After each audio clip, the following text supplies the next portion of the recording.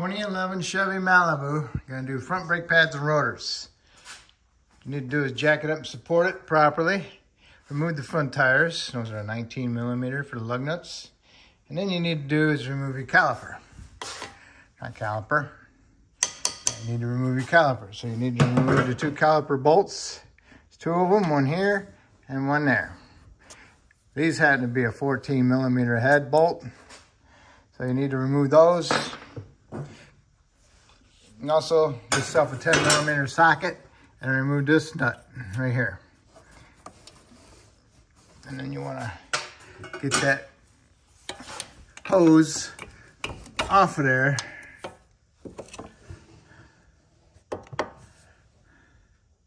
It's a little tight. Hold on. Okay, yeah, so you wanna remove this 10 millimeter nut, get yourself a medium sized hammer, hit the stud in a little bit so you can remove this out of the way. So that way you can have more room to swing your caliper around.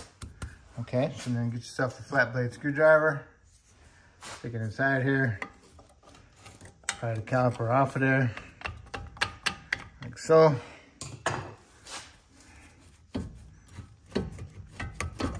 Go ahead. Ah, so you want to look at your caliper, see if it's leaking any fluid, or see if the boot's torn. And if your boot is torn or leaking fluid out of it, you need to replace your caliper. Swing the caliper over the other side, won't let it hang. That's why I took that little bracket off right here. I can move my caliper around a little bit more freely. I'm replacing the rotors because they pulsate really bad. The pads aren't that bad of shape, but I bought them as a set, so I'm gonna replace it all. And that's what I'm doing, okay? Next you wanna do is remove your caliper bracket. There's two bolts holding that on. There's one here and one there. And those are a 15 millimeter head bolt. Looks like that. Two of them. Take them out. Make sure you hold on to your bracket. It doesn't fall down on your air hose or on your foot. Okay. And then for your caliper bracket, you want to make sure your slide pins are free. So if they're free, that means you can take them out and clean them up and put some new Sil-Glide inside there. Do not pack this with Sil-Glide. You'll never be able to push the pin back in. Okay. And then you want to remove your pads.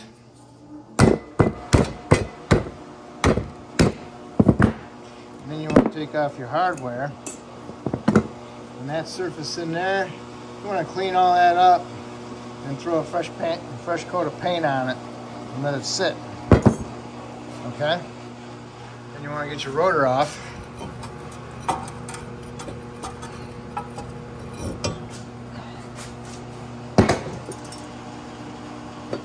I'm replacing these rotors.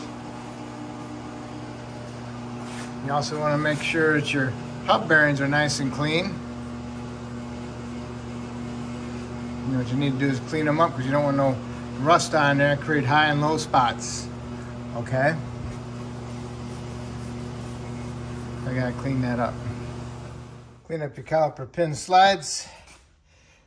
Roll them in some uh, Sil-Glide. Stick them in there. Clean up your brackets. And put some paint on them. And let them sit. Next, what you need to do is push your piston back into your caliper. If you got the ratchet style, the ratchet it back in is awesome. You can use a big pair of channel locks, or you can use a C-clamp with an old pad and push the piston in, okay? This one should have the calipers replaced, but customer doesn't want them, so clean them up best I can. All right, next what you need to do is get your hub cleaned up, put a fine film of anti-seize on it, get your new rotor, put your new rotor on there, but before you put your new rotor on, make sure you wash off the shipping oil, okay? Okay, caliper bracket, put your hardware in there, make sure they're bottomed out and they're not in the way of hitting the rotor vent. Anyway, now I can get them in there. Got my rotor on there. Got my vice grips to hold it straight. I just got them on there just to hold them on there. They're not killing my threads or anything. So now I need to get my bolts started and snug them up. Caliper bracket. The bolts are in there, snugged up, and you need to torque them to 85 foot-pounds. They say 96, but I think that's kind of excessive. But 85, I think it's sufficient. You can do what you want. You need to put your pads in there. If you got a squeak indicator on your pads, put them on the inside, on the top, towards the rotation of the rotor. Okay? This one goes on the other side. These are in there. You get them lined up, act like little springs, you gotta push them in. And there you go. So now you do is put your caliper on there, get your two little caliper bolts on there. Torque these to 26 foot-pounds, 26.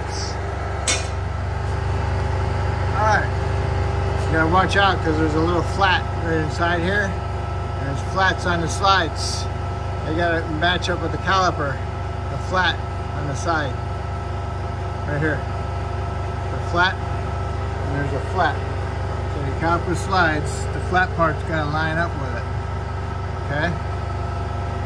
Facing that way that way. Got those tightened up to 26 foot-pounds.